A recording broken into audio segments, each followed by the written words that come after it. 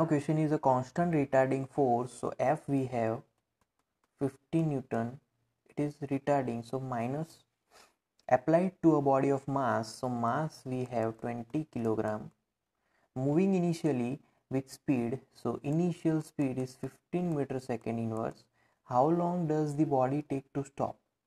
So we need to find t.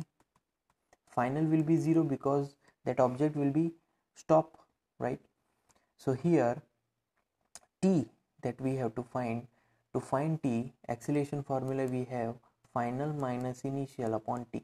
But we don't have acceleration so find acceleration by this formula ma mass into acceleration mass is minus 50 mass 20 uh, force is minus 50 mass is 20 acceleration is a 0 0 gets cancelled out acceleration is equal to minus 2.5 meter second to inverse.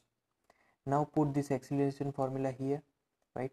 So t is equal to v0 minus 15 upon minus 2.5 so t is equal to uh, 150 upon 25 right? So here negative negative cancel out become positive. That's why t is equal to now positive. And uh, here yes 6 25 6 ja right? So 25 6 ja so 6 second. So it will take 6 second to stop